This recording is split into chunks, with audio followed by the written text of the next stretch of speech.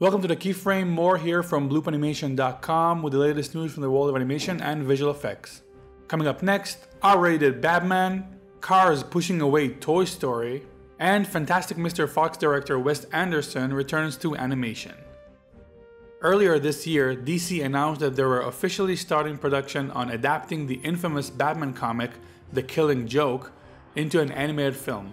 During the San Diego Comic Con, the film's producer James Tucker said that the film might be R rated.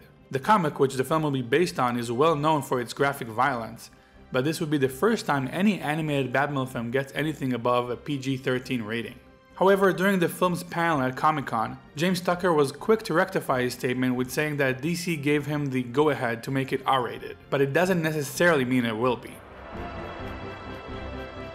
Disney announced some new release dates for their upcoming movies. Toy Story 4, which was originally announced to be released in the summer of 2017, got pushed back a whole year to make room for the upcoming Cars 3, which is set for June 16, 2017.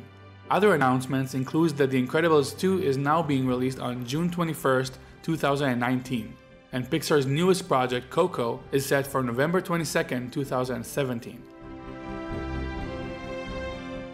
Director Wes Anderson is one of the few live action directors who has successfully transitioned into animation, with the great film The Fantastic Mr. Fox. The film didn't do amazingly in the box office, but it still earned an Oscar nomination for Best Animation Film.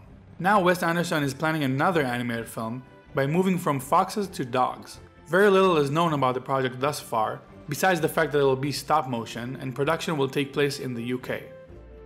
Alright guys, that's all for today. Thanks for watching. Don't forget to subscribe and go to bloopanimation.com.